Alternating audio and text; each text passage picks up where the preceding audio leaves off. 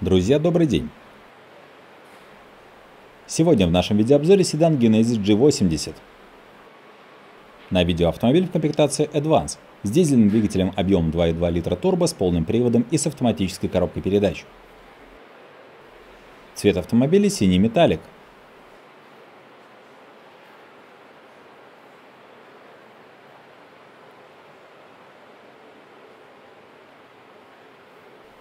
Автомобиль оснащен колесами разного размера.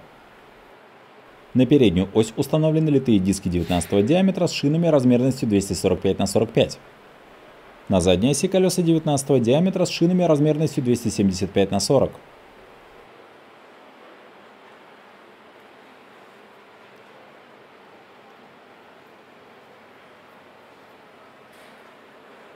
В заднем бампере расположен парктроник. Камера заднего вида расположена в крышке багажника. Антенна акулеплавник расположена в задней части крыши.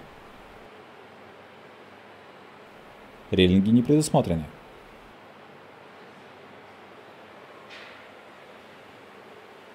Боковые зеркала и ручки двери окрашены в цвет кузова.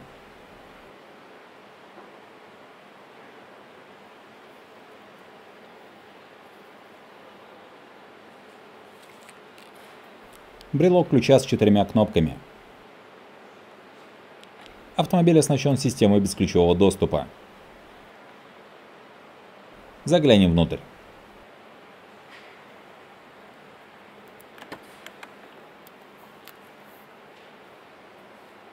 Посмотрим на карту передней двери и водительское место.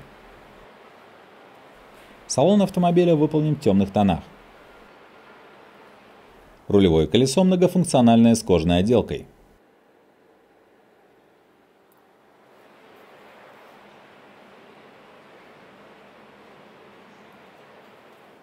Обивка сидений выполнена из перфорированной кожи.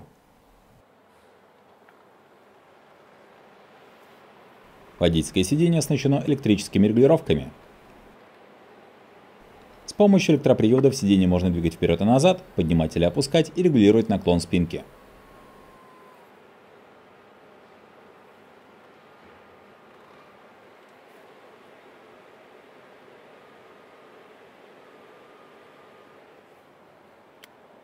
Сиденье оснащено электрорегулировкой поясничного подпора.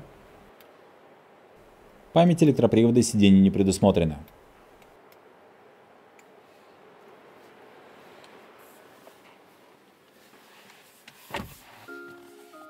Включим зажигание автомобиля с помощью кнопки старт-стоп.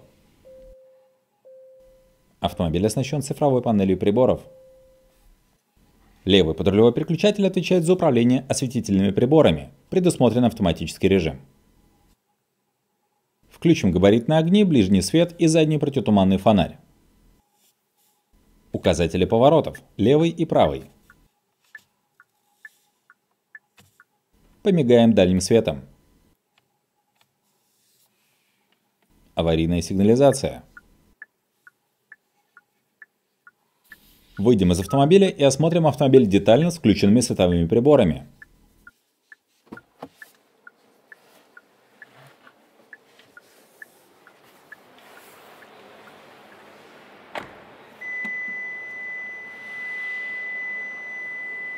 Повторители указателей поворотов расположены на передних крыльях.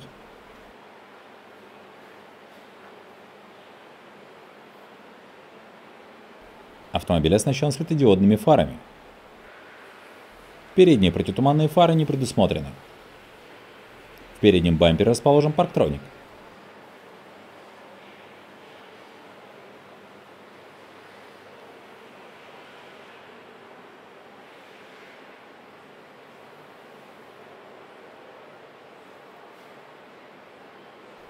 Задние стекла без заводской тонировки. Клиренс автомобиля составляет 150 мм.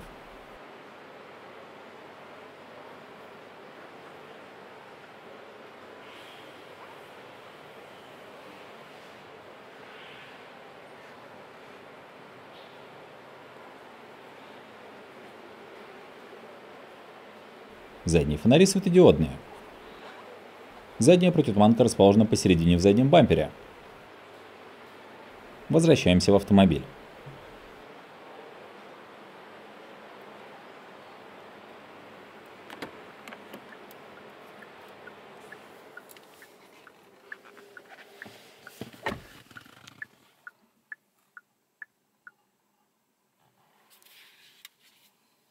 На водительской двери расположены кнопки управления центральным замком. Кнопка системы электроскладывания боковых зеркал.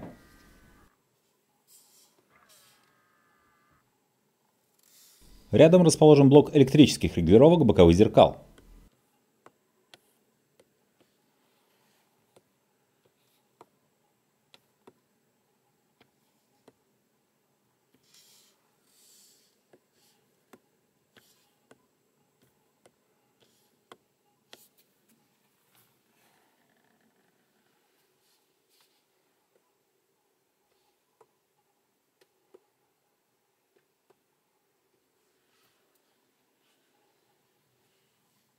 Далее идет блок управления передними и задними электростеклоподъемниками.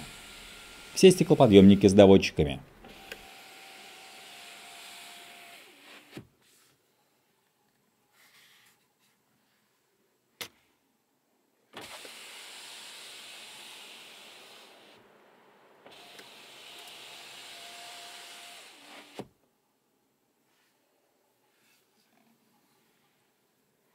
Регулировка яркости панели приборов –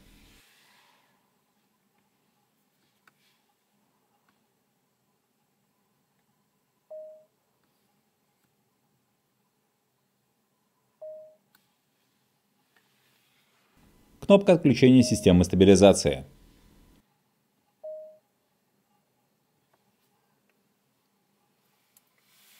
Правый патрулевой переключатель отвечает за управление передними дворниками, предусмотрен автоматический режим.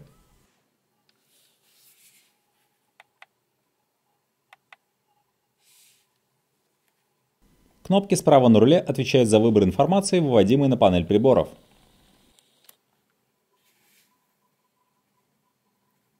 На дисплей можно вывести информацию маршрутного компьютера, подсказки навигации, информацию о давлении в шинах и настройки автомобиля.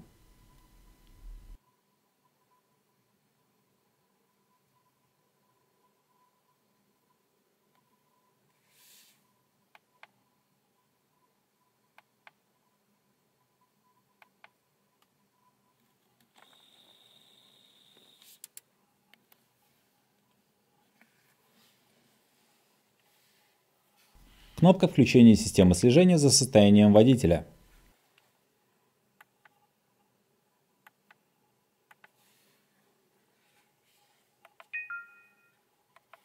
Автомобиль оснащен интеллектуальным круиз-контролем с функцией полной остановки или начала движения.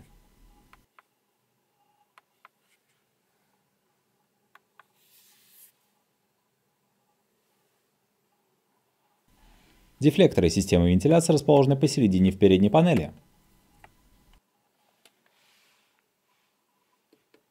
Макдональдсы намного популярнее, чем в США и множестве других стран. В первую очередь потому, что он не подпадает под казенное советское определение общепит. Если вспомнить... В автомобиле установлена мультимедийная система с цветным сенсорным дисплеем размерностью 14,5 дюймов. В составе акустической системы 9 динамиков. Автомобиль оснащен системой активного подавления дорожного шума. Эта система генерирует ответные противофазные звуковые волны через динамики автомобиля, тем самым минимизируя шум. Мультимедийная система поддерживает радио в диапазонах FM и AM. Мультимедийная система поддерживает Bluetooth аудио и присоединение внешних устройств через разъемы USB. Мультимедийная система поддерживает hands-free. Это позволяет говорить и управлять телефоном без помощи рук. Мультимедийная система поддерживает Apple CarPlay и Android Auto. Это дает возможность подключить к автомобилю смартфон и вывести на дисплей сертифицированные приложения.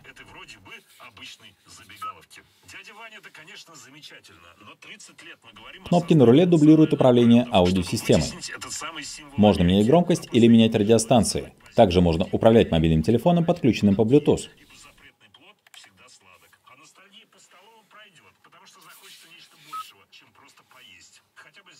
комфортом. Автомобиль оснащен встроенной навигационной системой с картами.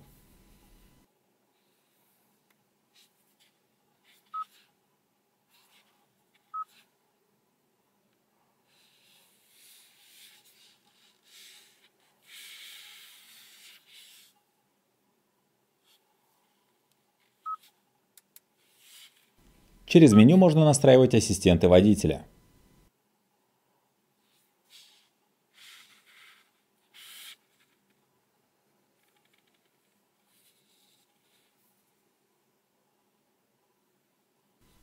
Автомобиль оснащен ассистентом контроля пространства спереди.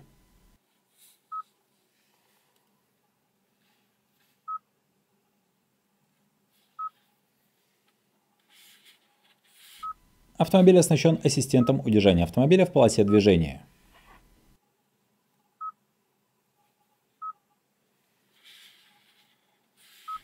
Автомобиль оснащен системой мониторинга слепых зон с ассистентом выезда с парковки задним ходом и с ассистентом перестроения.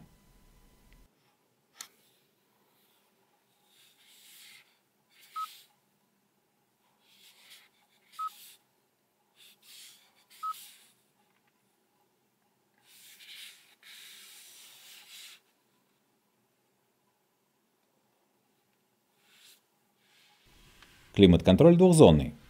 Включим систему с помощью кнопки «Авто».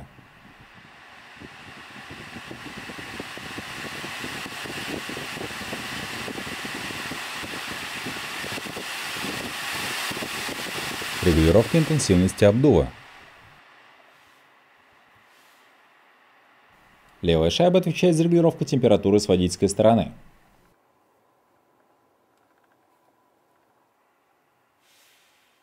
Правая шайба отвечает за регулировку температуры с пассажирской стороны.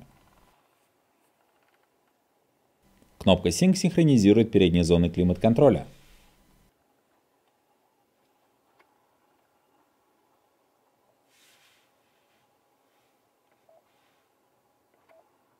Выбор направления обдува в передней части салона.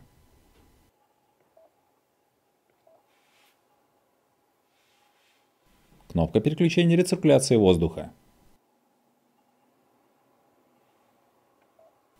Кнопка АЦ отвечает за включение кондиционера. Кнопка включения электрообогрева заднего стекла и боковых зеркал. Кнопки подогрева передних сидений. Подогрев трехрежимный. Кнопка включения электрообогрева руля. Подогрев двухрежимный. Потолок серого цвета. Водительский противосолнечный козырек с макияжным зеркалом с подсветкой. На потолке расположено освещение для водителя и пассажира.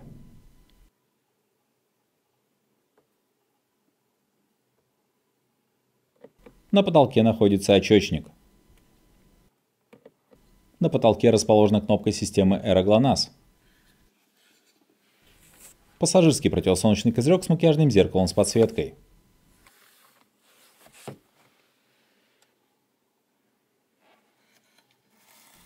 Посмотрим на задний ряд сидений. Он оснащен тремя подголовниками.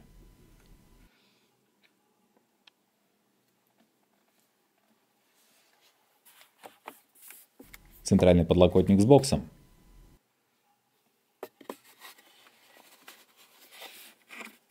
В боксе расположена розетка на 12 вольт.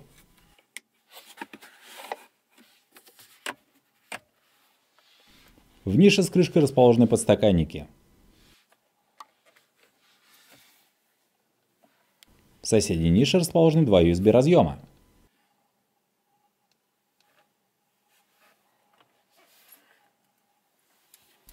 Бардачок с подсветкой отделан ворсом.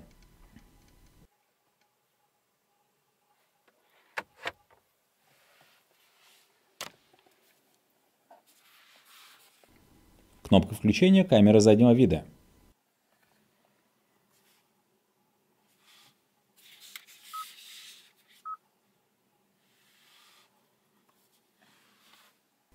Кнопка включения парктроников. Drive Mode – система переключения режимов движения. Водитель может переключаться между режимами комфорт, эко, спорт или кастом.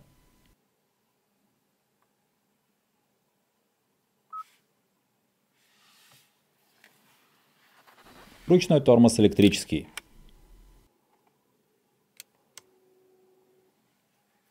Индикация ручника на панели приборов.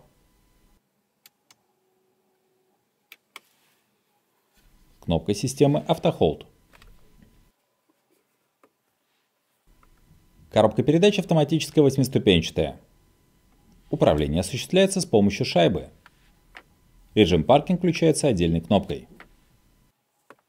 В коробке передач предусмотрен ручной режим выбора передачи с помощью подрулевых лепестков. Индикация выбранной передачи отображается на панели приборов. Теперь перейдем к осмотру заднего ряда сидений.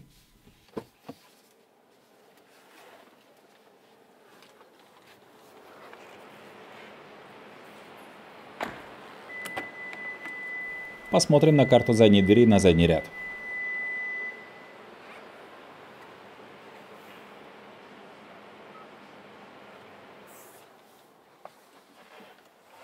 Оценим, как выглядит передняя приборная панель.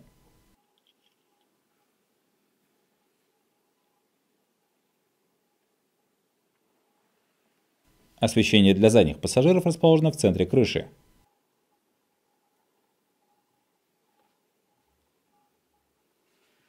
Салон багажника отделен полкой.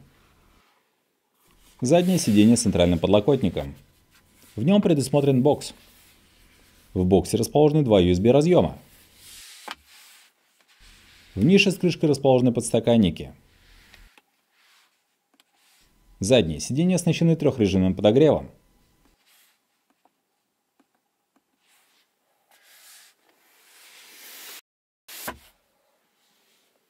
В спинках передних кресел предусмотрены карманы для вещей. Для пассажиров заднего ряда предусмотрены отдельные дефлекторы систем вентиляции –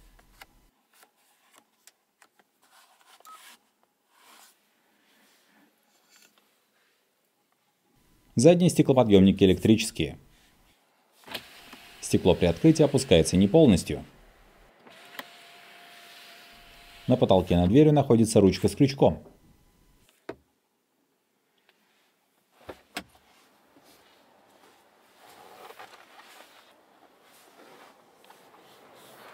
Теперь перейдем к осмотру багажника. Кнопка открытия багажника расположена в крышке багажника. Объем багажника составляет 424 литра. Боковины и пол багажника отделаны ворсом. Задние сиденья не складываются, однако предусмотрен лючок для перевозки длинномерных грузов. В боковинах багажника предусмотрены открытые ниши с сетками. В подполье багажника находится запасное колесо с набором инструментов.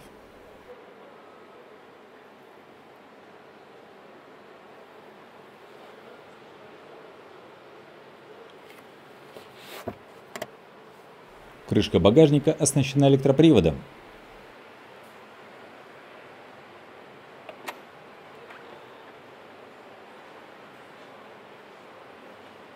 Лючок бензобака открывается снаружи автомобиля. Объем топливного бака составляет 65 литров.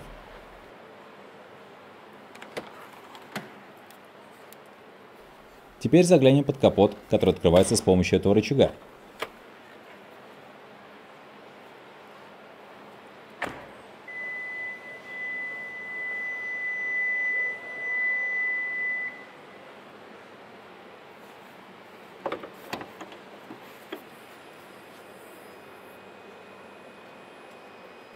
Капот фиксируется с помощью двух пневмоупоров.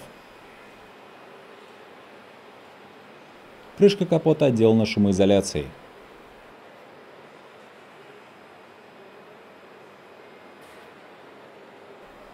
Двигатель турбированный дизельный четырехцилиндровый, объем 2,2 литра с отдачей 199 лошадиных сил.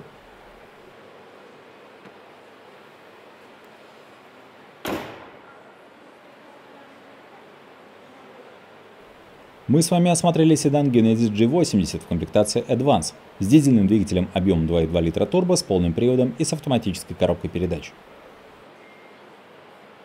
Актуальную прайсовую цену на аналогичный автомобиль вы можете посмотреть в каталоге DROM. Ссылка в описании к видеоролику.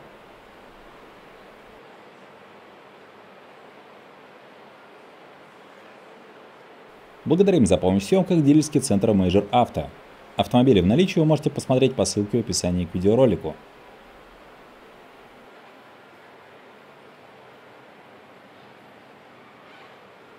Друзья, ну вот наше видео подходит к концу. Не забывайте ставить лайки и писать в комментариях, понравилась ли вам машина и какие еще автомобили вы хотели бы увидеть на обзоре. И самое главное, подписывайтесь на канал Дром. До скорых встреч!